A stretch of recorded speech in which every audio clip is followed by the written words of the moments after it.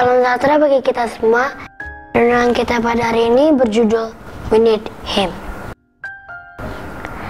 Man cannot live by bread alone, no matter what he may have or own. For though he reaches his earthly goal, he was away with a starving soul. Walaupun engkau memiliki semua perkara dunia ini, tetapi jiwamu tidak akan terpuaskan. Kita sungguh membutuhkan Allah karena jasa Allah yang memberi kita kepuasan. Hari ini, rasa lapar dan haus di dalam hatimu hanya dapat dipuaskan dengan satu menun pekerjaan-pekerjaan baik.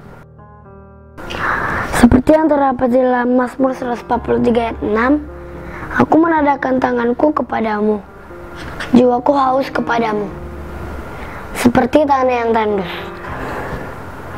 Although you have all earthly things, but your soul will not be satisfied.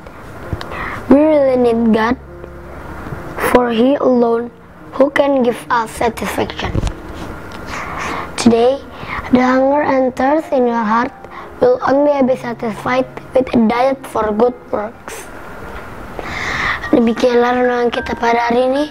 Tuhan memberkati.